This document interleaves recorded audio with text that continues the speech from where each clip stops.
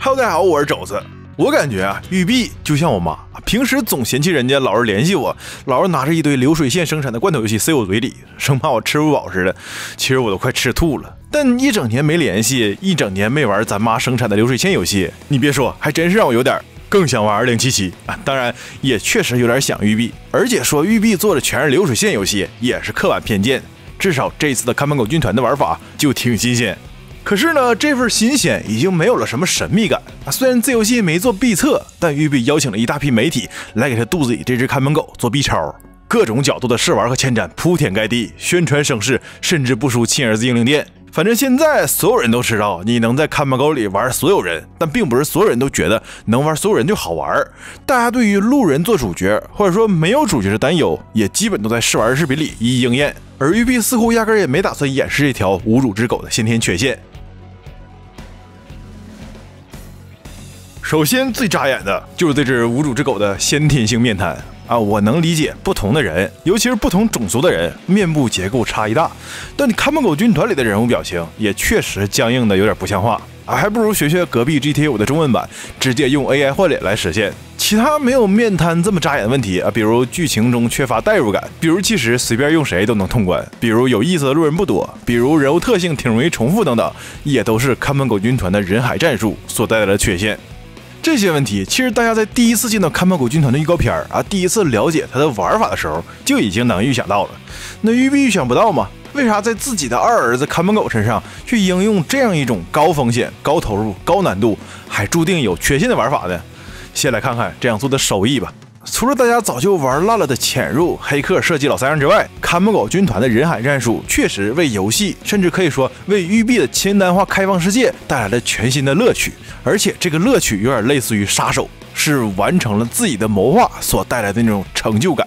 在杀手里，你可能会为了暗杀一个赛车手而想去对他的赛车动手脚，然后为了破坏赛车而想要伪装成维修工，再为了伪装成维修工而扒光一个维修工。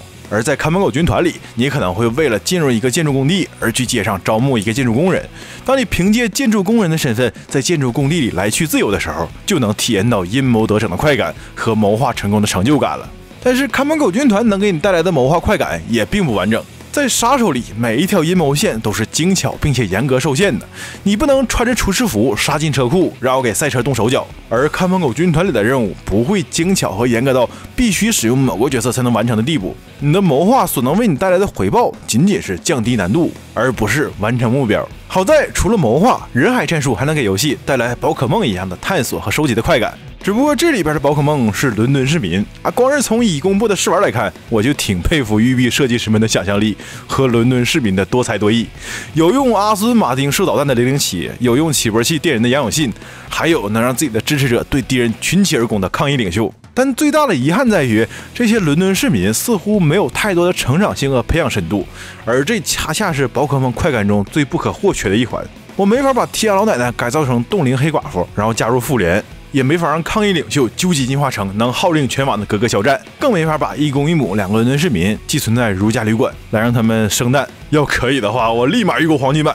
所以看门狗的人海战术确实能给清单化开放世界带来一些独特的、有趣的体验，但这些不完整的、不够极致的，甚至有些残缺的乐趣，真的足以成为开发这套系统的理由吗？况且还会带来那么明显的先天缺陷，育碧到底图啥呢？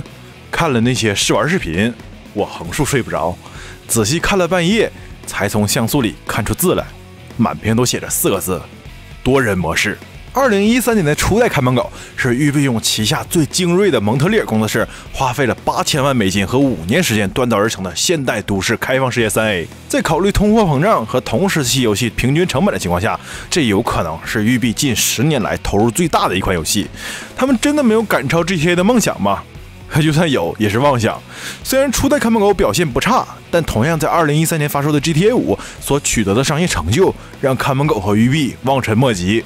而 GTA 五这只金母鸡之所以能像慢性腹泻一样，连着几年坐在 Steam 销量榜上狂喷金蛋，靠的是它的多人模式 GTA Online。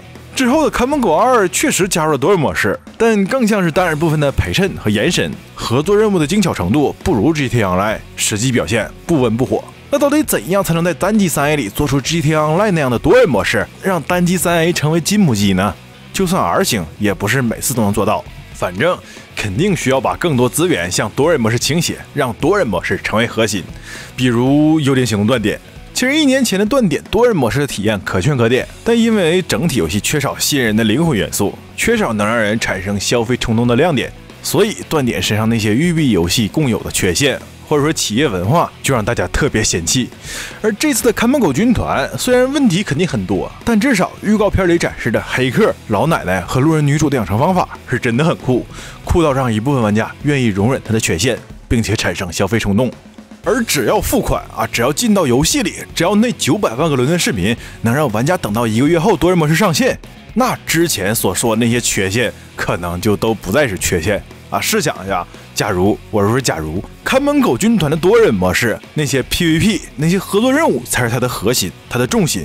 那剧情动画多么僵硬，多么缺乏代入感，就都不再是问题。那路人的特性和智能就会在多人模式中凸显出意义。那永久死亡和监禁时间就都可以服务于 PVP。那像星探一样在街头拐卖人口就会更有动力。一切的一切，甚至是偷跑出来的那个画面，就都会显得那么的合理。就像八年前看门狗第一支预告的副标题，Everything is connected。